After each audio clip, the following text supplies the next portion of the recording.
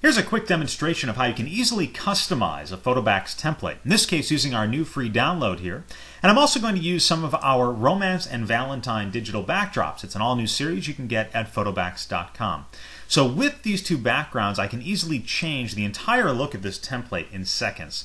So I'm going to start out here with my template open along with the backgrounds, and I've merged a couple of the layers here to make it easy in this demonstration. But to start, I'm going to take my Move tool here in Photoshop, click on my background layer, and then I'm all set. Go to a background I want to use, and I'm going to just take that layer here and drag it right into the template workspace. Now, before I do anything, I'm going to hold down Shift on my keyboard, and that's going to center that backdrop right into place in that template. So when I let go of my mouse button here, you'll see the backdrop goes right in, right above that background layer, because I had that selected before.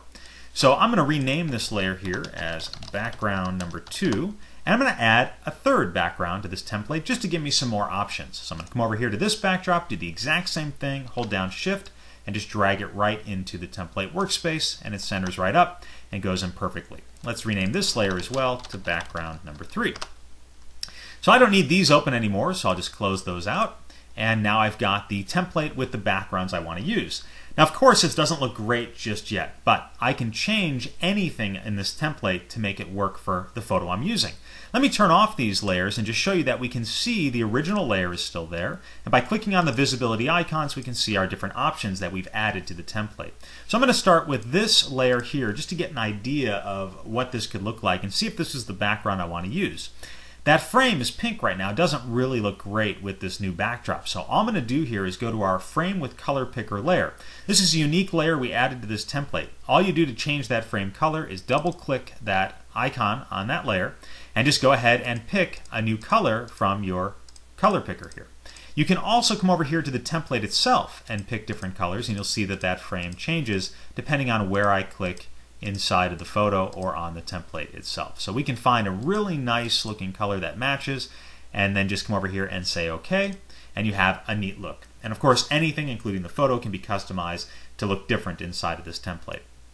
Let's take a new background that we added and see what that looks like. We'll click on that and you'll see that it looks great as well, but that frame again doesn't really look perfect. So I'm going to do the same thing, double click that color layer, color picker icon, and just come over here and try to pick out something else that I like that may look better. You know, it's not really working perfectly, so I have another option here for this frame layer, and that is to change the blending mode. So I'm going to make sure I have that layer selected, and come over here to our blending modes, and just click on that and go to overlay. And that's going to place a nice blend of this frame on top of my background. So I'm going to select overlay. You'll see what it did. If I zoom in here really close, you're going to see, whoops, let me go back to overlay there. Let me just zoom in real quickly and show you that you can see the layer below it coming through. But the color isn't really perfect. It's really too red for me in this case. So I'm going to double click and change that color to something a little more subdued so it really just kind of blends in nicely like that. So let me just zoom out and show you the difference here. So it has a nicer blend to it. We can go ahead and continue to pick to pick out exactly what we want in this case and have it look really nice with the photo that we're using. So that's a quick demonstration of different ways you can customize the Photobacks templates using digital backdrops that we offer as well from photobacks.com to mix with your templates. You can always have something perfect for the photo that you're working on.